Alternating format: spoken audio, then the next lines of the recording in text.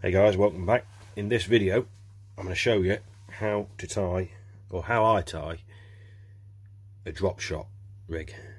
Now it's a great rig, you can use it for LRFing down the side of piers, drop shotting with lures, you can even use it on the boat, you know if you're putting big baits on, dropping down.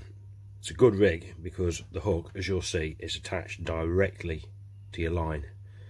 You also find that you don't tend to deep hook fish with it.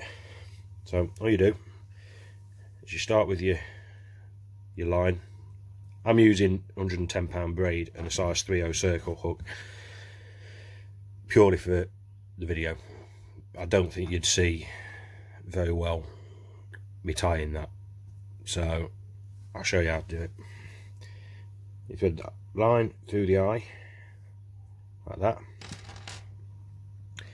and then you create a loop like that. You pinch the loop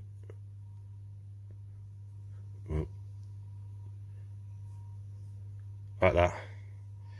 So you've got your tag end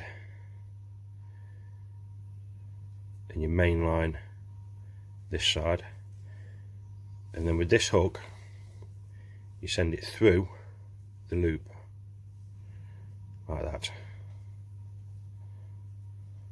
And you want to be doing that maybe six times but it depends really on the thickness of the line the line that you're using. I'm only doing it a couple of times just to show you. And then all you do is you pull. That's it. Simple as that. Like I say, it's a great rig